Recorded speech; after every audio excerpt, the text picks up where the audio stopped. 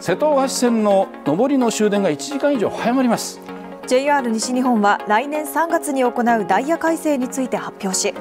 このほか岡山支社管内で44本の列車の運転を取りやめることが分かりました。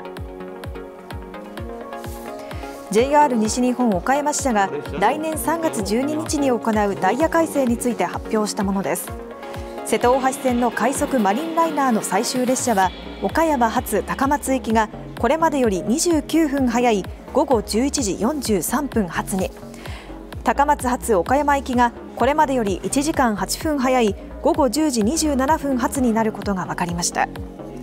また山陽本線でも岡山発三石方面の最終列車が27分早まり午後11時発になります。またこれ以外に岡山支社管内の44本の列車の運転が取りやめられます。44本の列車を運転を取りやめるというのはあかなり大きいダイヤ改正だというふうに認識しています。その2019年の中で見た中でもやはりご利用状況と輸送力の乖離というのがもうすでにそこのコロナ前からありまして、えー、まあそれにコロナがですねちょっと拍車をかけたような形で